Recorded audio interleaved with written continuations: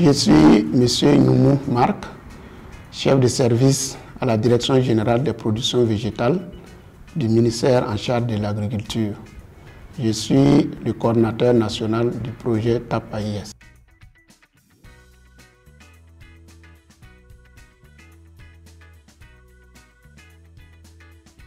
Nécessaire au Burkina Faso pour le renforcement de la résilience des populations face aux effets néfastes des changements climatiques.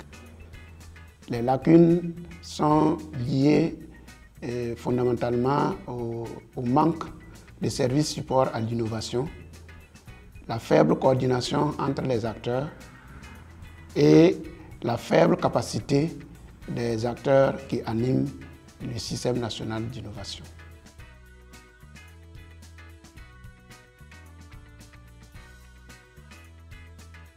Après la mise en œuvre du projet TAP AIS au Burkina, nous aimerions avoir un système de suivi-évaluation opérationnel entre les différents acteurs du, système national d'innovation agricole.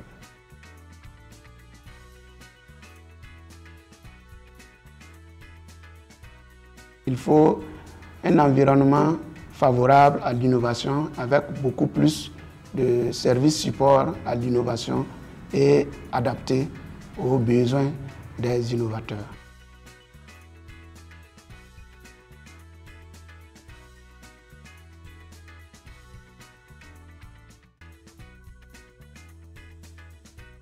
Dans le contexte du Covid-19, l'équipe projet est amenée à réduire le nombre de participants aux ateliers multi-acteurs compte tenu des respects des mesures barrières et également de faire les formations et les réunions en ligne, tout cela, tout cela pour donc, le respect des, des mesures barrières.